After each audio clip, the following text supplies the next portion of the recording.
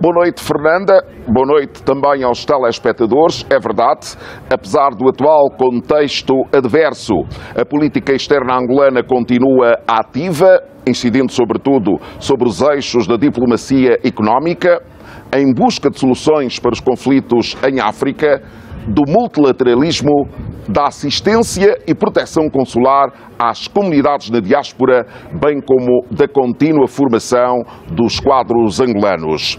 No plano da diplomacia económica, para além dos contínuos objetivos para a captação de investimento estrangeiro direto, estímulo às exportações, entre outros, presentes na agenda das visitas de Estado, Angola olha também com interesse crescente as oportunidades regionais e continentais com o intuito de melhorar a cooperação económica com os países africanos. O presidente João Lourenço disse há dias que a concessão do corredor do Lobito a um consórcio internacional e o Fórum Económico Angola-RDC, realizado em Kinshasa, são exemplos do empenho de Angola de contribuir para a integração regional, para tornar mais curta todas as rotas marítimas internacionais e também para facilitar o comércio mundial.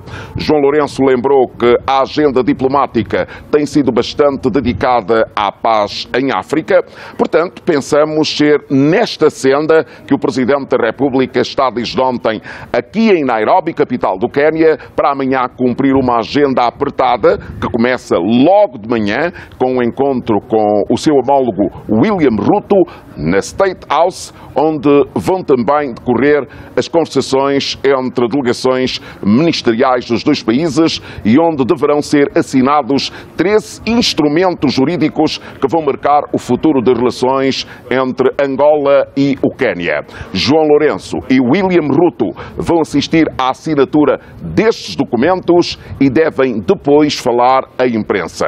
Mais tarde será prestada uma homenagem ao pai fundador do Quênia, o Presidente da República deverá depositar uma coroa de flores no mausoléu onde estão os restos mortais de Jomo Kenyatta.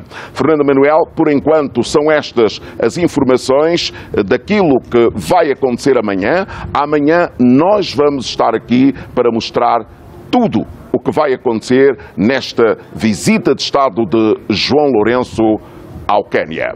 Eu devolvo-te a palavra.